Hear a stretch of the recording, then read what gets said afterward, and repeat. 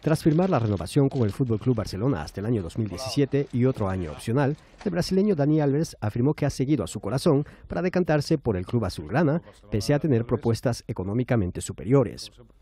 En una comparecencia celebrada en el Camp Nou, el jugador que hace unas semanas aseguró que el Barcelona le había faltado el respeto con la oferta de renovación que le había presentado, explicó de esta forma los motivos por los que ha decidido quedarse en su actual club. Yo siempre digo que eh, en mi vida yo siempre sigo mi corazón, y si me equivoco que sea por él y si acierto también que sea por él.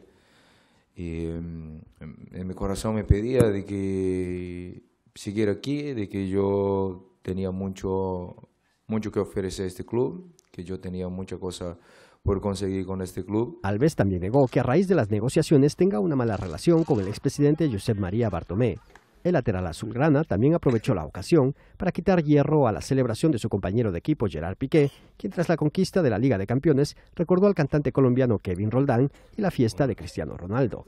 Yo solo le he echado de menos que no, no venía a cantar en nuestra celebración. Solo, solo faltó pedir esto, pero no, es, es, es, es cachondeo todo, pero no, no con aire a, a, a maldad.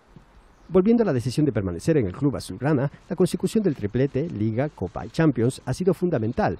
Esta situación estaba en la cabeza del brasileño desde el inicio de la temporada por unas palabras que le dirigió su entrenador Luis Enrique. Al principio de temporada, cuando yo estaba así, me iba, así me quedaba, eh, él me dijo una frase que, que la verdad es que, que, me marcó muchísimo y lo he recordado cuando, más que, que el árbitro a, a, finalizó el encuentro y que fue, eh, Dani, quédate, que este año vamos a disfrutar.